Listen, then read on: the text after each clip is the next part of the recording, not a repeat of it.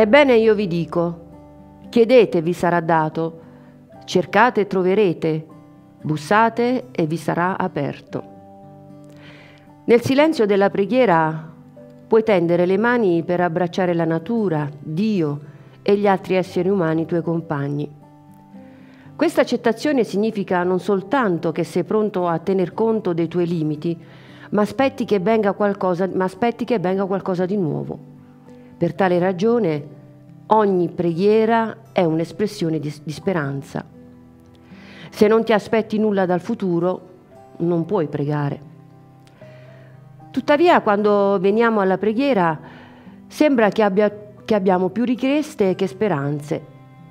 Questo non sorprende, dato che preghiamo soprattutto quando lo richiedono circostanze molto specifiche e spesso momentanee. Quando vi è la guerra, preghiamo per la pace, quando vi è la siccità, preghiamo per la pioggia, quando arriva una difficoltà, preghiamo per superarla, quando gli amici sono malati, preghiamo perché stiano bene. Spesso questa preghiera, che possiamo chiamare di supplica, viene considerata meno nobile della preghiera di ringraziamento e certamente meno nobile della preghiera di lode. Ma il problema è sapere se questa distinzione ci aiuta a comprendere che cos'è la preghiera. La cosa importante nella preghiera non è se viene classificata come supplica, ringraziamento o lode, ma se è una preghiera di speranza o di poca fede. La preghiera di poca fede ci fa restare legati alle circostanze concrete della situazione contingente, al fine di guadagnare una certa sicurezza. La preghiera di poca fede è piena di desideri che chiedono un adempimento immediato. Invece, quando viviamo con speranza, non ci lasciamo intrappolare dalla preoccupazione per come verranno adempiuti i nostri desideri.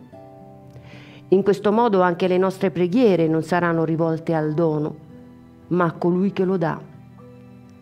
Le nostre preghiere potranno ancora contenere altrettanti desideri, ma alla fine non si tratta del fatto che un desiderio si realizzi, ma di esprimere una fede illimitata nel datore di ogni cosa buona.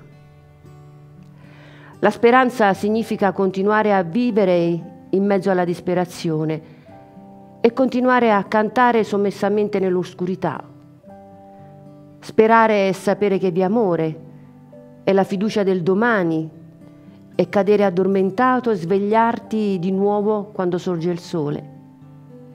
Negli occhi di un altro e vedere che sei compreso.